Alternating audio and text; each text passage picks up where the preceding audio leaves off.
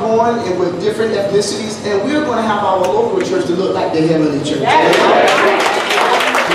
we're kicking off our 80th anniversary. The Lord has been good to Beulah. I've had the privilege of serving here now 12 years, and God has come and revived this place. He's brought spiritual life. He's brought relationships. He's brought so many unique things, and we're, we're just going along for the ride. Amen? It's an 80-year milestone. When I got here, about 15 people. Can, can I go to a invitation? Leave up to our youth. Amen. Kenny Grant, the senior pastor of Calvary Baptist Temple. And we want to thank God for Calvary being here.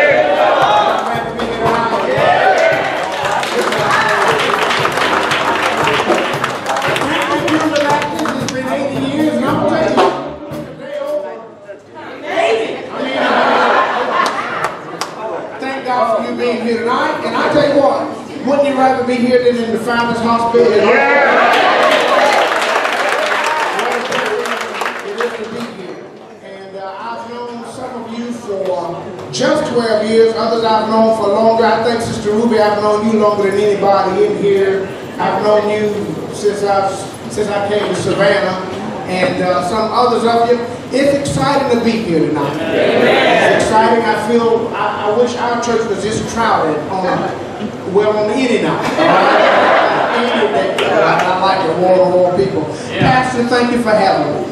All right, I'm, I'm home at Beulah. And uh, I, I appreciate coming over here, and I appreciate always appreciate the reception. But listen, I want to go right into the Word of God tonight. And I want to. I have a word. You know, God gives us a a right now word from His forever word. Amen. God gives us a collective word, and God gives us an individual word. And I want you to look with me at Mark chapter number 14. Mark chapter number 14. Mark chapter number 14 is an interesting chapter in the Word of God. And It is just before the Lord Jesus Christ would go to Calvary. And I want to begin to read at verse number 1. And then I'll read down to verse number 9. All right? So out of respect to God's Word, we'll stand and we'll read that passage of Scripture. And then we will start. We will not be long tonight, but I pray that the Holy Spirit of God will speak into our hearts and our lives tonight. We don't allow it. The question is never is God talking. The question is always what? Are we listening? Are we leaning in to hear what God has to say? Because God has a right now word from his eternal word for you, and God wants to speak to. Notice, after two days was the feast of the Passover and of unleavened bread, and the chief priests and the scribes thought how they might take him by craft and put him to death. But, they said, not on the feast day, lest there be an uproar of the people. Now, stop right there look this way. What you have to remember is that the common people, the Bible said, heard Jesus gladly. Jesus' problems always came from religious people. Right? So when you, when you start looking for the devil, don't forget to look in the church. Don't, hey, you can find him in the pulpit. You can find him in the choir stand. You can find him in the deacon corner. You can find him in the pew. The devil is up to his eyeballs in religion. He doesn't doesn't matter. It doesn't matter person is religion. In fact, hey, listen, all the more religious. More people will be in hell because of religion. I believe that. I believe people will die and go to hell from the church pew, and some people will go to heaven from the bar stool. Because people in church many times are trusting the wrong things. Like the Pharisee who went to the temple to pray along with the, with the, with the publican who trusted in himself that he was righteous. And so Jesus' problems came from the religious right. They, they knew that there would be an uproar of the people. And see, they had no idea that this thing would happen the way it happened. They had no idea that Judas would turn Jesus in.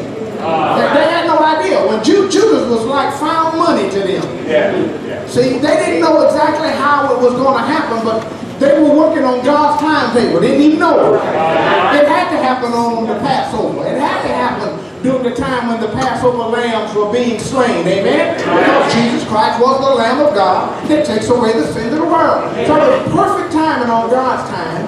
And man was confused about it. But notice it says, and being in Bethany, in the house of Simon the leper, as he sat at meat, there came a woman having an alabaster box of ointment of spikenard, pure nard, very precious or costly, and she break the box or the vial or the flask or the bottle or the jar and poured it on his head. Now, when you read John's account of this, remember that this is one of the synoptic gospels. Matthew, Mark, uh, Matthew, Mark, and Luke are, uh, are the synoptic gospels. Now, John writes from a different vantage point than all three of them and they write from a different vantage point uh, from themselves, but they they record many of the same things, but they all record this. Now, John says about this that Jesus poured it on, uh, uh, uh that the woman poured it on Jesus' feet.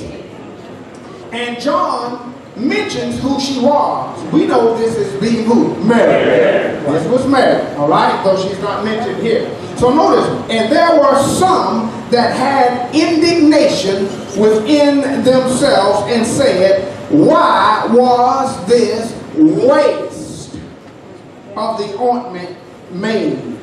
Note that. Why was this waste of the ointment made? For it might have been sold for more than 300 pence, 300 denarii. This was this was 10 months wages. Uh, this was no small matter. This was an expensive vial, yeah. a flask yeah. of pure aromatic oil yeah. from India. They didn't, didn't come from that part. It was rare. And so some had indignation and talked about it being a waste and it what might have happened. It might have been sold for more than 300 pence and have been given to the poor and they murmured against her. I love that word murmur. The King James murmur.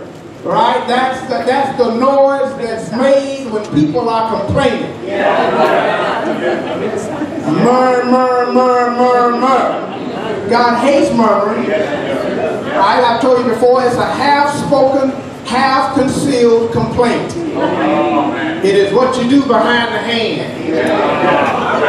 Right? Loud enough for some folk to hear but not know what you're talking about. You see what I'm saying? Murmuring. And we've got people in church who murmur and complain, just grumble. And so they murmured against her. And Jesus said, let her alone. Why trouble ye her? She has wrought a good work on me. For ye have the poor with you always. And whensoever ye will, ye may do them good. But me ye have not always. They didn't know how long it would be. Jesus knew. Yeah. She had done what she could. She has come aforehand to anoint my body to the burying. Verily, truly, sure enough, I say unto you, Wheresoever this gospel shall be preached throughout the whole world, this also that she hath done shall be spoken of for a memorial of her. Father, have your way. Speak into our hearts and into our lives tonight. Father, we want to learn what it is you have for us from this passage. So help us as the old sage in the proverb says to his son, incline our ear. Help us to lean in, bend our ears to hear what you have to say. Father, you want to talk to us collectively, but you want to talk to each of us individually. Speak into our hearts and into our lives. And we're going to thank you in advance for what you do because you do all things well. In Jesus' name we pray. Amen. All right, this is not a message to the church collectively so much, but a message to each individual. I want to talk on the subject of a life well wasted.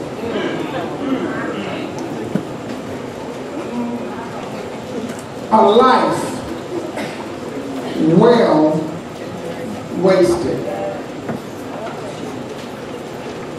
Many times we run across people in the scripture and what they have in their hand becomes an illustration. You remember what Moses had in his hand had a rod. God said, what's in your rod? And then that rod became an object lesson. He says, I've got a rod. God says, throw it down. And when he threw it down, it became a serpent. God said, pick it up. Remember told him to pick it up on the tail end. That's not the end you pick up a snake. But God told him to pick it up and it became a rod again. I believe that was an object lesson. God was showing him that he had more in his hand than he knew about. Amen? Amen? And, uh, and that what he had in his hand had a serpent's nature in it that rod that he had come to lean upon and, and uh, use and depend upon, it had a surplus nature. Everything that we have in our hands that can be used by God can also be used by the old slithering serpent. Amen? Every, every blessing that God has given us can be used by the, the devil. God wants him to see that. And then when he took it up, he had to take it up at the lesser end. I believe that's teaching us that everything that we have, that even God has given to us, need to be held by the lesser end and held very lightly. Yeah. So God didn't have to pry our fingers from around it to get it from us. Amen. Everything we have, needs, when we surrender to Him, God will show us what's in it. But we ought always hold it loosely. Yeah. Yeah. In fact, the Bible says, and I've talked about this in Band Brothers, how before the end of that chapter, uh, in chapter 4, it says, the rod of God. Moses took the rod of God. That rod that was his rod became our rod. Amen. Everything that we give up like that will become something that God can use by. I, you remember the uh, little boy with the two fish and the five loaves? Yes, yes. I call little happy meal. right out there with 20,000 people, that meal was surrendered. I preach a message called His Lunch in Your Life. How did Jesus get that little boy's lunch? The same way he'll get your life. You got to give it up. Take it from him. Right? Jesus, didn't go and bend his arm behind his back and take the little boy's lunch. Jesus said, what do you have? Two fish and five loaves. Jesus said, bring it to me. The next thing we see is Jesus with that little boy's lunch in his hand. You ever wonder about that? How did he get that boy's lunch? I'll tell you, that boy had to give that lunch up. Now you think Jesus gonna come and take your life away from you? Talk about his life, but your life. You think Jesus gonna come and take it? No, no, no. You got to surrender. If he'll ever have it. And then when he took it, he broke it and he blessed it, just like he wants to do with your life. The broken life, the blessed life, and the lives of others. Right? That boy could have said, oh no, Jesus couldn't use his little lunch. It ain't nothing but two fish and five loaves. What would Jesus want with a little meager lunch like this? But how many of you know a little is much when God is in it? And, and, and God used a little old boy. That's, a, that's an illustration in all of that. Like what is in your hand? I believe this flask of oil in Mary's hand becomes an object lesson. It's an object lesson of life just like that boy's lunch, just like Moses' rod. Uh-huh. And notice the Bible says that Mary came in and she poured this oil, very costly, upon Jesus' head and his feet. Remember the Bible says she washed his head, or his feet, with her hair. You remember that? So she anointed the Lord Jesus Christ. And I want to talk about that. Because she wasted some people there with the corners of their mouth turned down. It's amazing. Your heart will determine what your eyes see. Your heart is all jacked up tonight.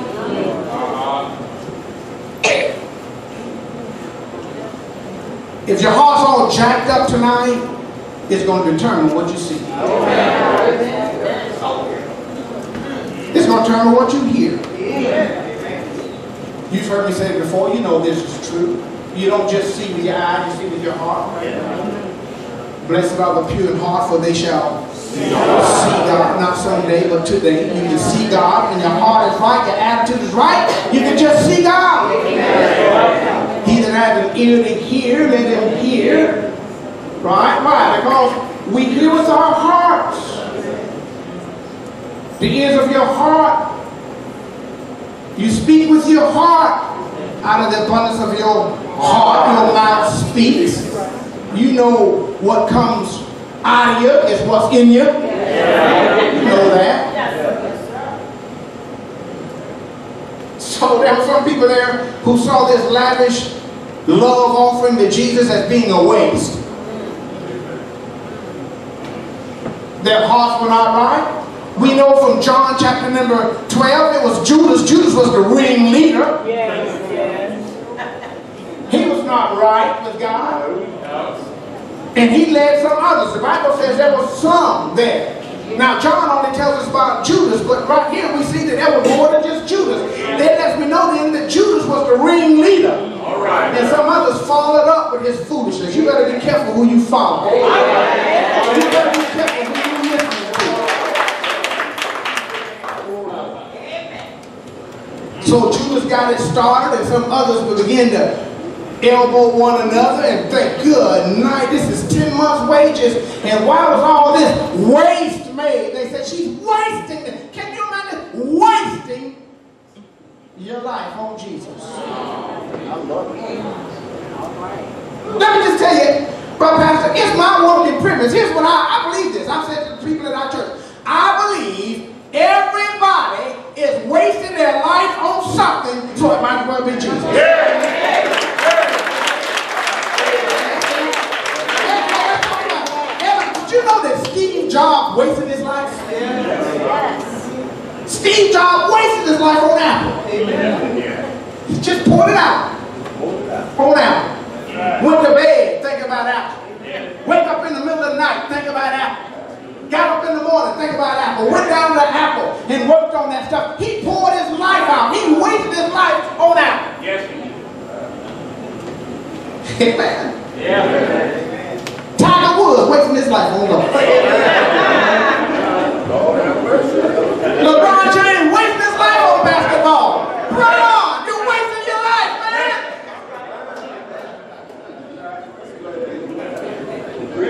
Trump wasting his life on building buildings. You're wasting your life. Everybody's wasting their life on something. Some people waste their life on building businesses. But you see, nobody have a problem with people throwing away their lives and wasting their lives on those kinds of things. But when it comes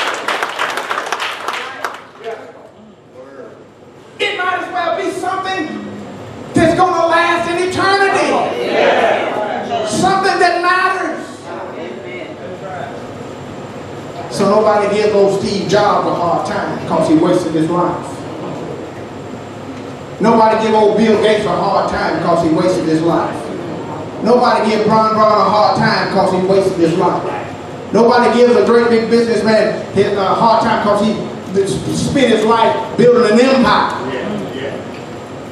So don't give me a hard time if I choose to pour my life out on Jesus. I said a life that's poured out on Jesus, a life that's wasted on Jesus is a life well wasted.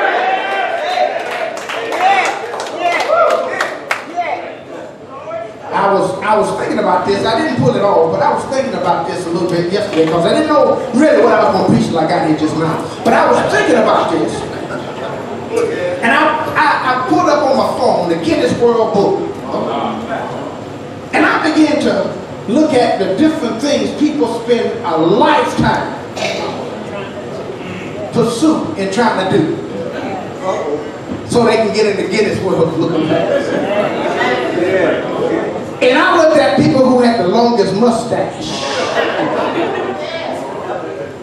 People who had the longest beard. I looked at the lady who had the longest fingernails. I mean, if you take and clip her fingernails and add them all up, they go 30 yards. You ought to, y'all ever seen that too? Oh, yeah. She, hey, she, she's wasting her life growing fingernails. That's her thing. Well done, thou good and faithful servant. Thou hast grown 30 feet.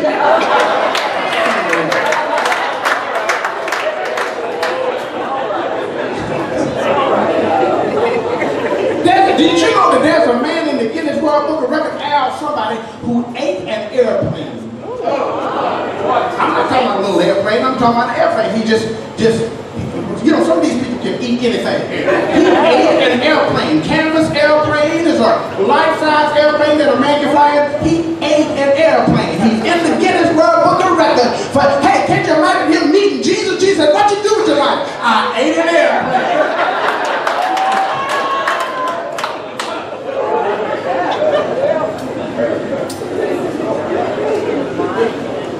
I grew a mustache.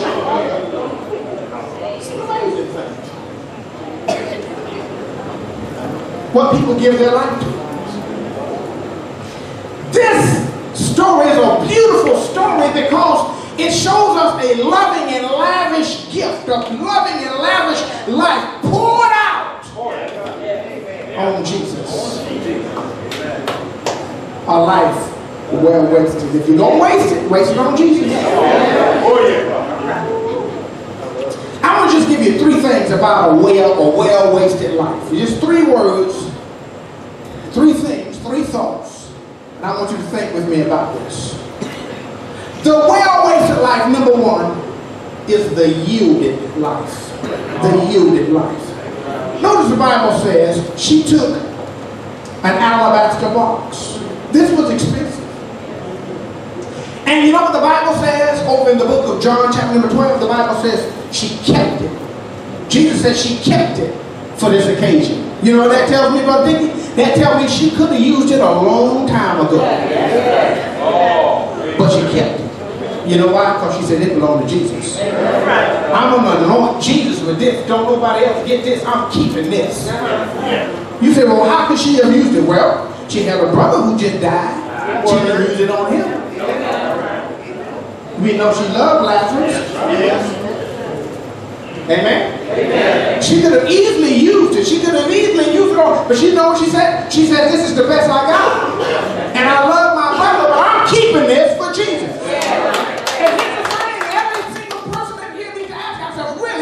what are we keeping for Jesus? Have we given it all to the world?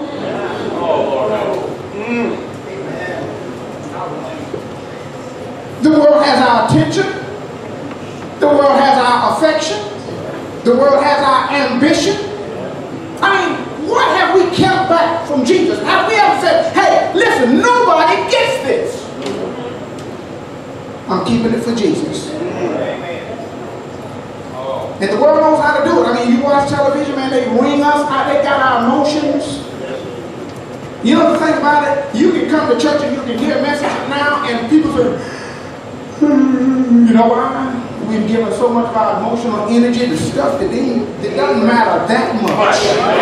You're watching reality TV, a bunch of airheaded people.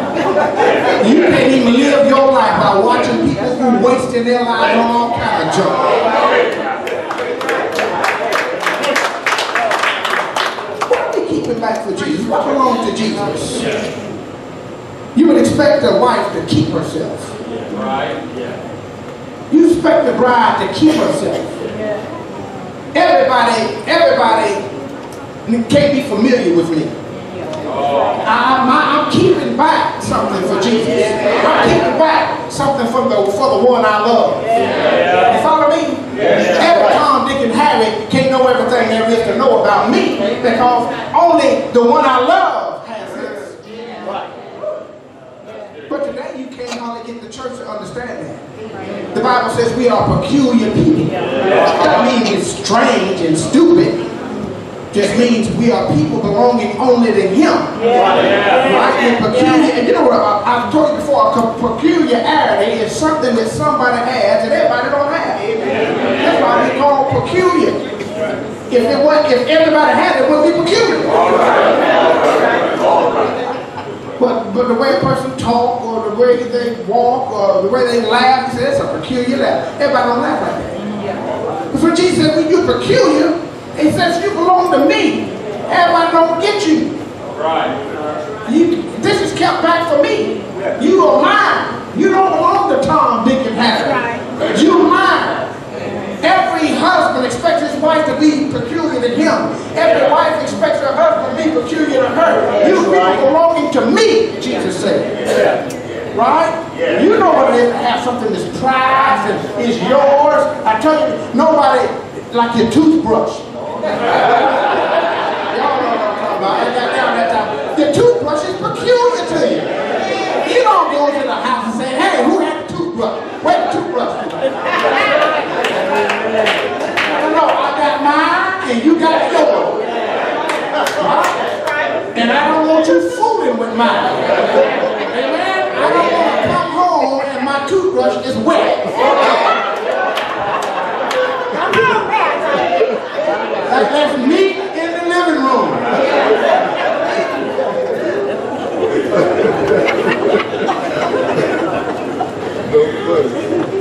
She kept it for Jesus. And then she, promised that she poured it out.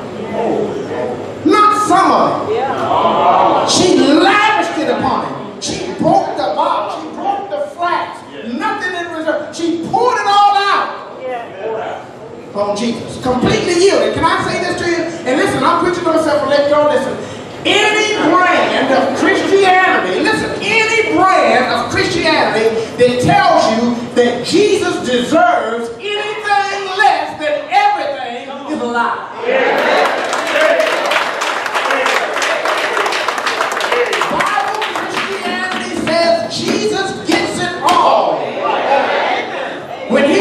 when he died on the cross, he paid for you lock, stock, and barrel. Every inch and every ounce is what Jesus died for. Amen. The great battle, the great battle, the great battle in my life is not between me and the devil. Between me and God. Right? Because God says, I want what I bought and paid for.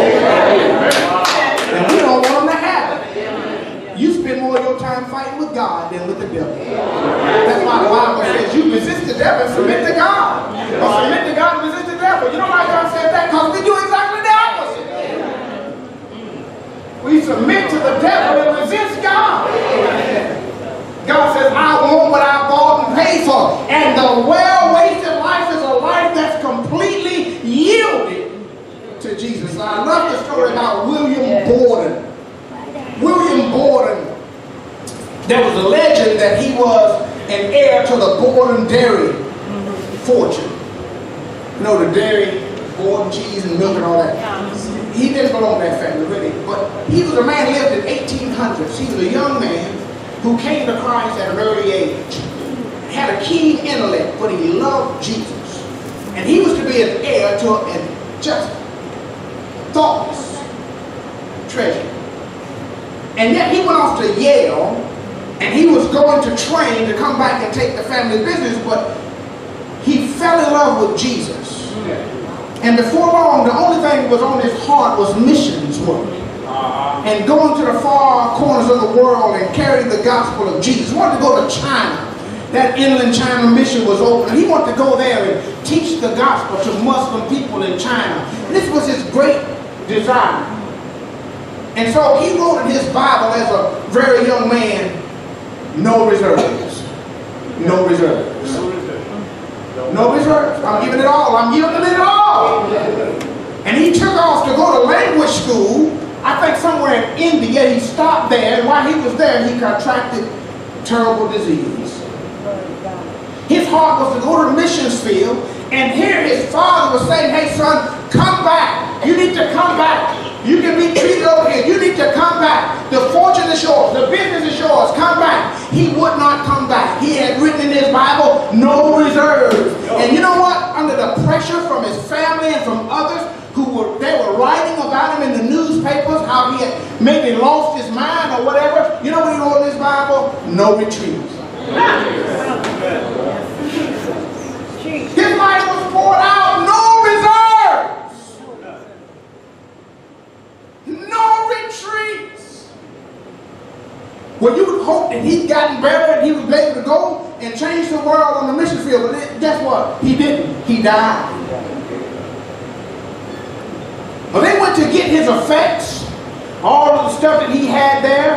He died as a very young man, maybe 24 years of age after turning his back on an immense treasure and opportunity and privilege and all of that. But they gathered the things he had there, buried somewhere there, got They found this little Bible. When as er, a, as a younger man, maybe four or five years later, he had written, no reserves. A little bit later, under tremendous pressure from his family, he had written, no retreat. And now as a dead man. They found his Bible and they written in there and very legible were these words, no regrets. No regrets.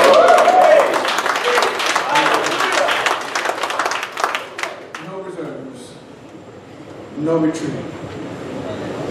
No regrets. All to Jesus I surrender. All to him I freely give. It all belongs to him. All the bitter pain and sorrow that a time could ever be, as I proudly said to Jesus, all of self and none of thee. Yet he saw me. I beheld him bleeding on the cursed tree, as my wistful heart said frankly, some of self and some of thee. Day by day his tender mercies, healing, helping, full and free, brought me lower as I less of self and more of thee. Higher than the highest mountain, deeper than the deepest sea, Lord, thy love at last has conquered none of self and all of thee. And I tell you, this is what Jesus died for. You don't have the right or the means to negotiate the terms of your surrender. Jesus bought you and paid for you. And a well-wasted life is a life that's completely, lavishly, lovingly poured out on Jesus. You're going to waste your life on something, so it might as well be on Jesus.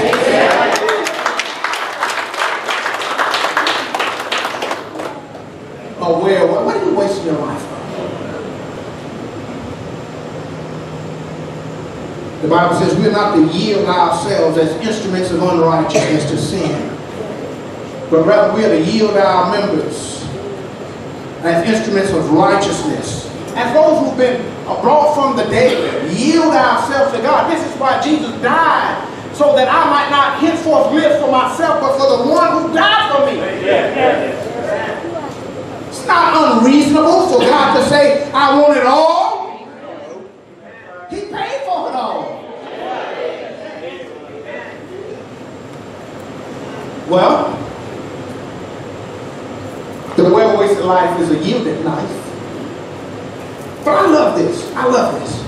The well-wasted life is a shielded life. She poured it all out for Jesus. And some people gave her a hard time fishing. They gave her a hard time. You can't believe it, can you? Jesus said, expect that. Think it not strange concerning the fiery trials which is to try you, as though some strange thing has happened unto you. Jesus said, if they if they hated me, they gonna hate you. He's not greater than the Lord. And so when the life is poured out for Jesus, you can expect it. You can expect people to criticize. You can expect people to be indignant. You can expect people to come up against you. And hey, sometimes it comes from the strangest quarter. Sometimes it comes from people who ought to know better. You should have known better. Andrew, Peter, Thomas, Matthew, they all should have known better. Yes. You pour your life out on Jesus. I guarantee you right now, if something really happened in the life of the average person in this place, in Beulah, in Calvary, at the Band Brothers, I'm talking about we really, really, really get it, and we really give Jesus everything he bought and paid for. Some people are gonna think you bumped your head. Amen? And Some people are gonna begin to elbow one another and say, you know, it don't take all that now. Now, That's too much now. That's that's too much. But I love was yielded. This this sh- hey, listen, she gave it all. But now watch this. Not just yielded, but shielded. Because when she poured it out for Jesus, Jesus stood up for her. They were giving Mary a hard time, and Jesus said, You let her alone. You back up off of her. Pump your brakes. Jesus got after them. I love that verse. In Proverbs 30, in verse number 6 says, He that is a shield unto them that put their trust in him. The Lord will shield you. Yeah. You give it to Jesus, Jesus, Jesus will take care of you. Yeah. And I love that. Now, here's what I love about this, brother. Is that you see Mary, I love Mary because Mary don't spend her time defending herself. Hey, Mary, like that old people said, she never said a mumbling word. Mary ain't say nothing. Get him, Jesus. hey, she didn't get up there. She didn't get up there.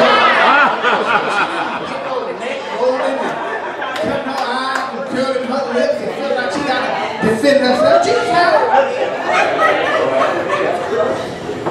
was You know what a shield is? She, she's a shield in the Bible. He got in between her and danger. He said she let her alone. And then he said six words. I love this. I love this. He said six words, the greatest six words. Come on, well done, thy great uh, uh, uh, faithful servant. You know what? The, the, the, the six word he said. He said she had done what she could. That's a powerful text. She had done. Hey, imagine Jesus saying that about you. Doesn't matter what other people say when Jesus said, you know what? You did what you could. Is that enough? Is that enough for you? So Jesus say, hey, I know they you. But I'm telling you, well done, you did what you could. That's good. My little mama is curled up in a bed right now. Alzheimer's is feeding on her. And uh, I went Shirley and I went to see Mama the other day. Mama don't remember us. Uh, that ain't as important as the fact that I remember her. I remember, I remember, I remember Mama. I remember we didn't have, I remember all the links she went to to make sure we was happy when she was sad. When she was going through, and I was too young to know. My dad was putting it on her. I, didn't, I was too young to know, to really grasp. Oh, I remember. She don't remember, I remember. But I think about my little mama, and I think oftentimes she had to leave school at sixth grade. Six youngins She raised us all.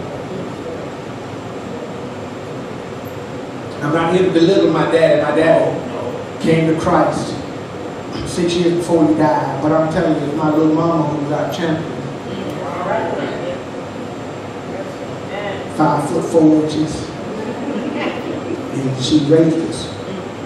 And I think about mom. You know what I, you know, I, I, she might outlive me. But if I preach my mama's funeral, I'll preach it. This is my text. She has done what she could.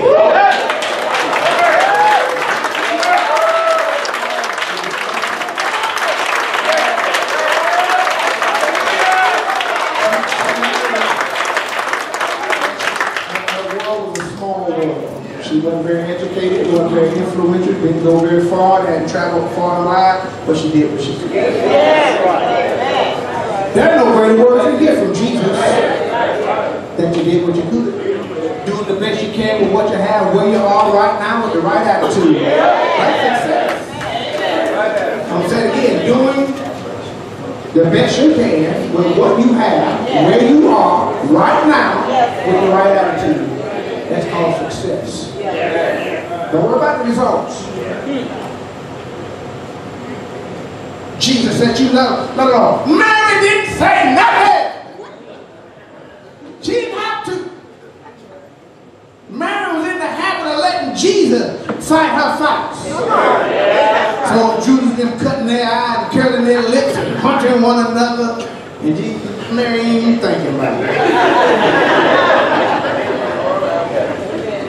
I remember one time they were having another meal. Mary curled up down there by Jesus' feet. Martha so mad, she come in there with the mashed potato. Yes, he did.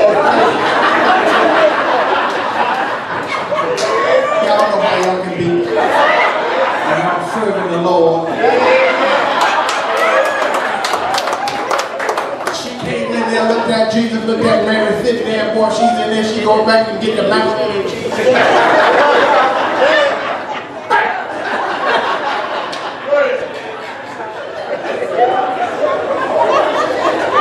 She was 38 hard.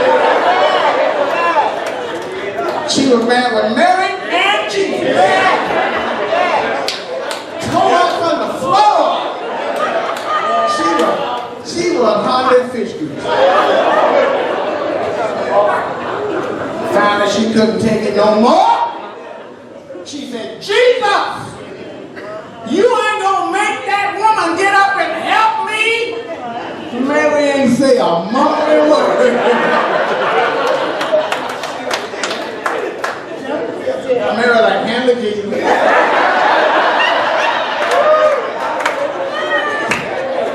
She said, Martha, Martha. Ah, you get up on Mary now. That's what we need to learn how to. So when, when, you, when our lives are poured out on Jesus, when it's yielded, it'll be shielded. I'm trying to learn this. I'm, I'm not that good because I'm a little guy. You know how little guys is. We never win scared. I'm telling you now. I mean, I, I just soon pick a fight with the biggest one in here.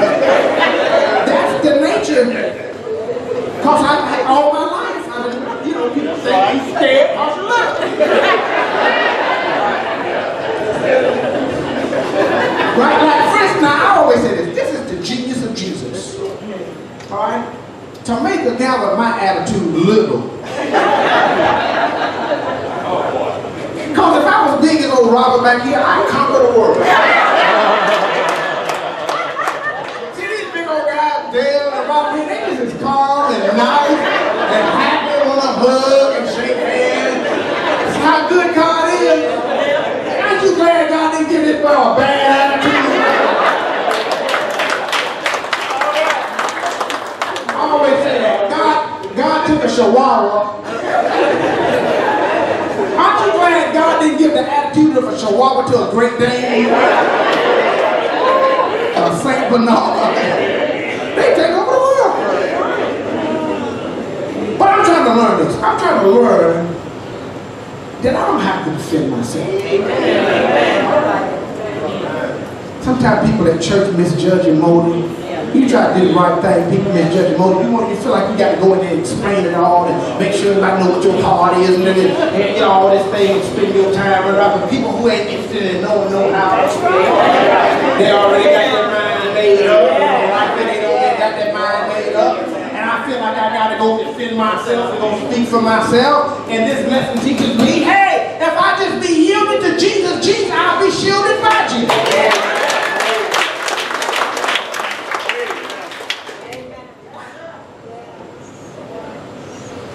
a well-wasted life is a yielded life. Have we given it all up to Jesus? Have we kept ourselves back from this world?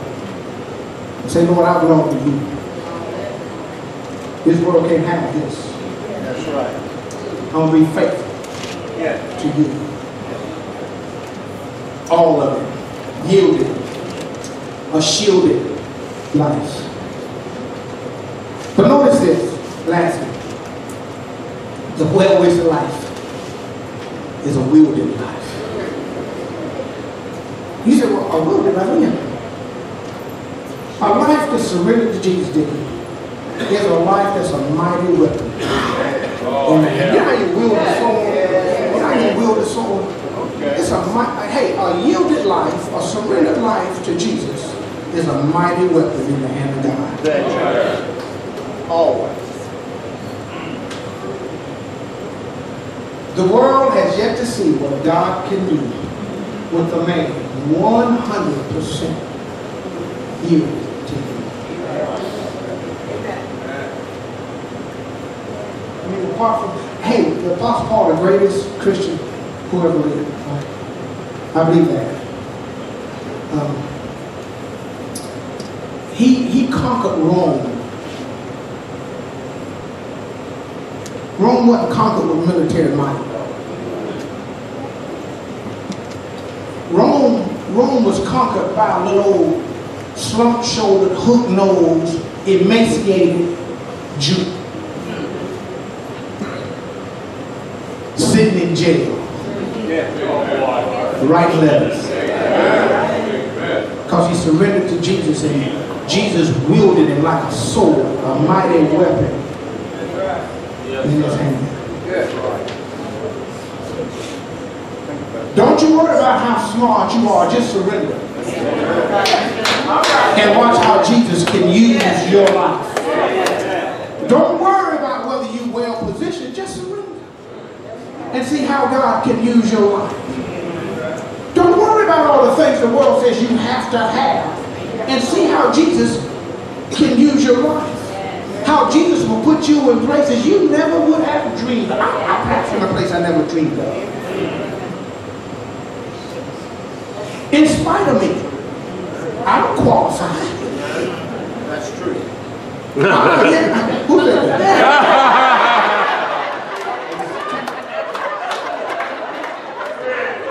Murmur. I do not qualify. No, I meant the part about you never would have. Yeah, I never, I never would have drunk. Who would have thunk it?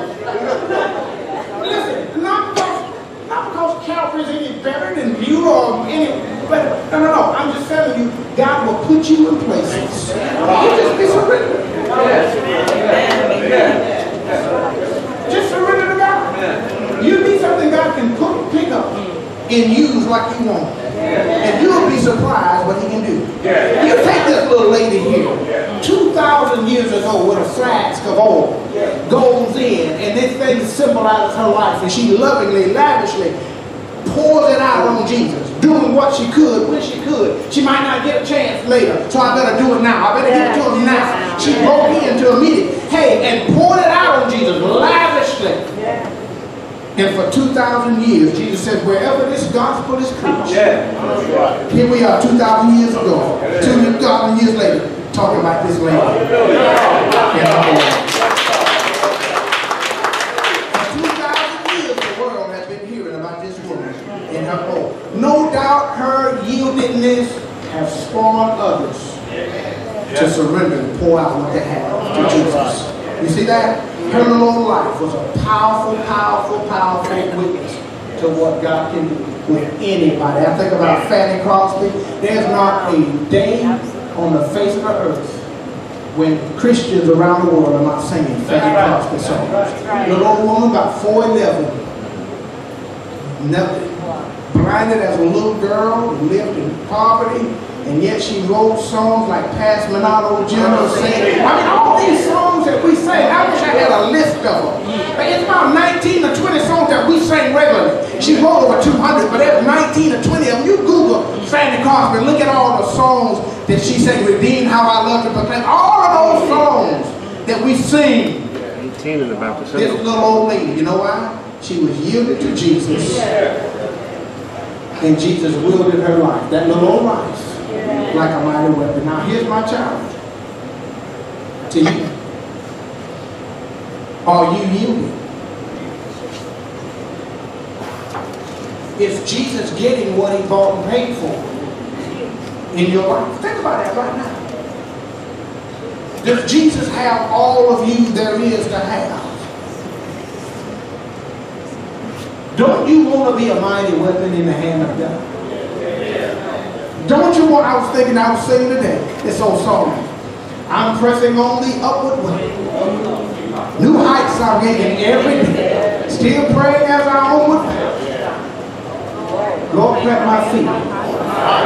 The second stanza says, My heart hath no desire to stay where doubts arise and fears dismay. For some may dwell where these abound. My prayer, my aim is higher ground. I want to live above the world. Though Satan's darts at me are hurled, for faith has caught the joyful sound, the song of saints on higher ground. I want to scale the utmost height and catch a gleam of glory. Still praying on to have not found. Lord, plant my feet on high. Lord, lift me up and let me stand by faith on heaven's table there. A higher plane than I have found. Lord, plant my feet on higher. Isn't that what you want?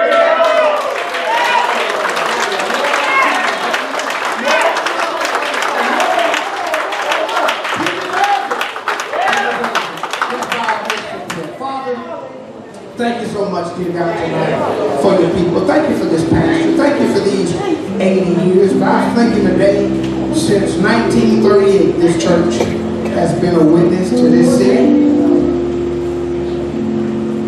Successively, Father, generations have come through here. And this, your church, lived through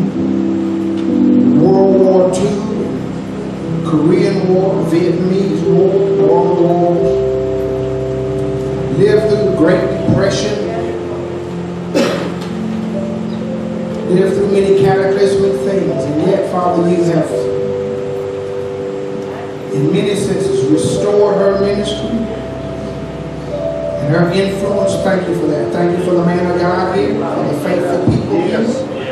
Thank you for our gathering tonight. Thank you for the vision, Father, that saw this. The passion you put in Pastor Ed was his heart to see a city come together. Thank you for his kind of leadership. We need it in this city. Thank you for his leadership there. Lord, bless these few scattered words to our hearts. Help us to see, Father, that our life that's wasted on Jesus is a life well wasted. God, help us all pour it out. Pour it all out on you. You desire. And Lord, you deserve it. In Jesus' name we pray. Amen. And God has compelled you to this place, and you have not yet poured out your life to Jesus. We would like to extend an invitation for salvation. If you're here tonight, and you know within your heart you've not surrendered all into the Master, would you come now? What greater time than now to know that your name can be written in the Lamb's Book of Life? We will take a moment to make sure that by the authority of Scripture, you can know without a doubt that you're saved. Is there one in the place tonight that say, that's me. The Lord has convicted my heart. I need to yield right now. would you make it known? Would you, by act of faith, step out of that pew and walk down this aisle? He died on the hill of Calvary and a hope and shame for us. We should be willing to walk down the aisle for him, if there's one tonight. If there's one.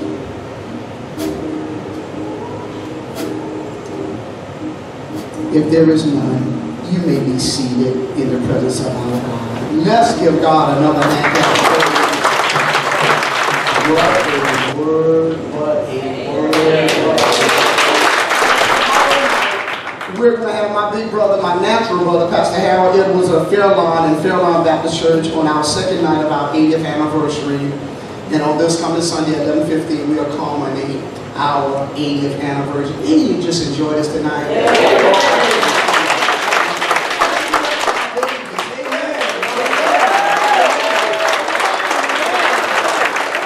Let's give it up for Calvary being in the house.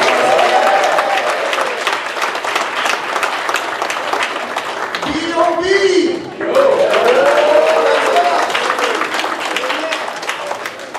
Can you please come pray and close us out? And um, we thank God for you, brother.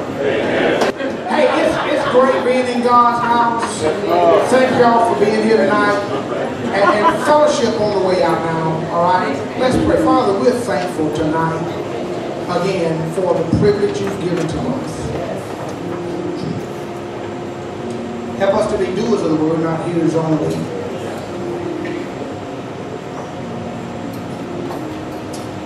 Help us to take this with us. Sweet Holy Spirit, challenge us with the truth of it. Help us to be convicted by it.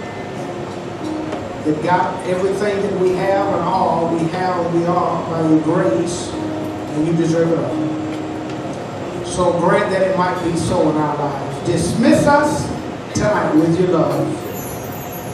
In Jesus' name we pray. Amen. Amen. God bless y'all tonight.